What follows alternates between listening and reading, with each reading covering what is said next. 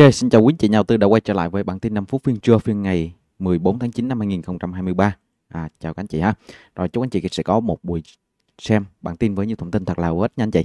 Rồi hôm nay thì VN Index phiên sáng à, ngắn hạn đang đóng đến ở vùng 1232.22 điểm, giảm 6.17 điểm so với phiên ngày hôm trước anh chị ha. Và độ rộng thị trường hiện tại đang nghiêng về các mã giảm với 366 mã. Các mã tăng chỉ có tỷ trọng 116 mã và dòng tiền dành cho các mã giảm trong phiên sáng ngày hôm nay hơn 7.000 400 tỷ anh chị nha. Và tổng khối lượng giao dịch trong phiên ngày hôm nay là 11.293 à, 1 à, một khối lượng cũng tương đối à, bằng so với phiên ngày hôm trước à, so với phiên sáng ngày hôm trước thì cái khối lượng ngày hôm nay có mức độ xem xem ha. À. như vậy là một tín hiệu cũng bình thường và với cái trạng thái rung lắc trong thời điểm hiện tại thì có chia sẻ với các anh chị nhà đầu tư về cái vị thế rồi à, những nhịp rung lắc của thị trường có thể kéo dài đến phiên cuối tuần do đó thì những cái trạng thái rung lắc trong thời điểm hiện tại là điều bình thường anh chị nha rồi, tác động tới VN Index trong phiên ngày hôm nay trong phiên sáng về chiều giảm thì Covid tiếp tục là một phiên à, đạp mạnh anh chị. Hiện tại đã đạp về tới vùng 55 56 rồi, à, 57 rồi. Đó là những vùng mà quan sát và à, anh chị nào đang có những nhu cầu đầu tư thì có thể là bắt đầu quan tâm về những khu vực này à, anh chị nha. Rồi Vinhome cũng đang có cho những cái trạng thái bị đạp khá là mạnh. Vietcombank, HBG, Noland, FPT, BSM và Vibank cũng là những mã phiếu à, đang có những trạng thái góp phần cho chiều giảm điểm. Sáng ngày hôm nay thì anh chị thấy là các mã cổ phiếu của nhóm ngân hàng đang góp phần cho cái chiều tăng tương đối ha. Trong đó có CTG, BID, VB, à, Techcombank và MB.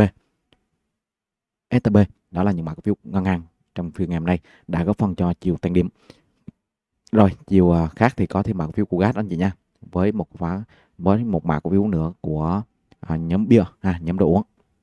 Ok, rồi, VN Index thì anh chị thấy là trong phiên sáng ngày hôm nay đang có những cái trạng thái rung lắc uh, điều chỉnh trở lại thì uh, trong phiên uh, ngày hôm nay khi mà mất đi vùng 1236 thì VN Index có thể sẽ có những nhịp nhúng lại đâu đó khoảng vùng 1220 1224 trong phiên chiều nay chị nha. Nếu mà có những nhịp giảm sâu xuống còn nếu mà không thì VN Index có thể sẽ giữ nhịp quanh ở vùng 1000 à, 230 này ha, 1230 và à, có những trạng thái hồi phục trở lại quanh 10 1236 anh chị nha. Thì phiên sáng có chia sẻ với cả nhà về việc là VN Index nếu mà giữ tốt được trên vùng 1236 sau 11 giờ sáng thì sẽ có cái cơ hội hồi phục đi lên cao hơn. Tuy nhiên thì anh chị thấy là với một cái nhịp hiện tại khi mà các dòng cổ phiếu đang có những cái áp lực điều chỉnh những cái trạng thái bị chốt lời thì các mã phiếu này đang có phần cho chiều giảm điểm của thị trường tương đối và với cái nhịp giảm điểm như thế này thì cái khả năng mà test lại quanh 1230 1220 1225 ở khu vực này là tương đối cao do đó thì à, những nhịp test như thế này là cơ hội khi mà các mã phiếu à, trong những thời gian qua à, về lại những vùng hỗ trợ để anh chị có thể mua được nha anh chị nha.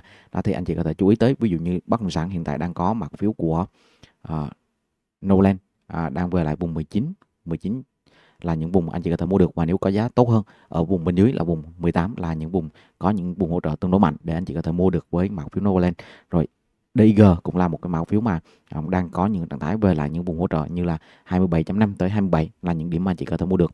DG thì từ 20.5 cho tới 21 là những điểm mà anh chị có thể mua được này. Rồi sell sell là quanh vùng giá 26 anh chị ha, 26 26.5 là những cái điểm mà à, sell có những vùng giá cho anh chị có thể mua được. Rồi BDR thì à, có thể là chạm về tới đâu đó khoảng vùng 24 24. À, 24.4 24.5 là những cái điểm mà anh chị có thể mua được với những mã phiếu này rồi rất nhiều mã phiếu khác của trong nhóm bất động sản khu nghiệp cũng có thể mua được. Ví dụ như là à, IDC đang có những trạng thái điều chỉnh về tới cái vùng 46.4 anh chị ha. 46.4 cũng là những cái điểm mà anh chị có thể mua được với mặt cổ phiếu IDC à, cái vị thế mà chúng ta đã chờ trong thời gian trước đó. Rồi KBC này trong quá trình về thì cũng có thể chạm vào tới vùng 33 để cho anh chị có được những vị thế giá mua tốt đối với các mã phiếu này. Rồi SCC cũng tương tự anh chị SCC thì đâu đó khoảng vùng 37.8 là những cái vị thế mà anh chị có thể mở những cái vùng mua được với các mã phiếu này. 37.8 36.8 là cái vùng mua nha anh chị nha. Đó thì trong cái nhịp hiện tại à, VN Index điều chỉnh thì các mã phiếu của nhóm Midcap đang có những trạng thái điều chỉnh về những vùng hỗ trợ trong ngắn hạn. Đó là cái cơ hội cho cả nhà có những cái vị thế mình tham gia. Nha anh chị nha. Rồi nhóm chứng khoán thì sáng nay cũng có những cái trạng thái rung lắc và điều chỉnh trở lại về lại những vùng hỗ trợ bên dưới ở vùng biên tích lũy trước đó là chuyện bình thường. Và khi mà về lại những vùng biên này tích lũy ngang khu vực này cũng tạo cho anh chị những điểm mua. Nha anh chị nha. Đó thì ở trong thời điểm hiện tại anh chị có thể là quan sát các mã phiếu để có được những vị thế mua ở những vùng giá tốt.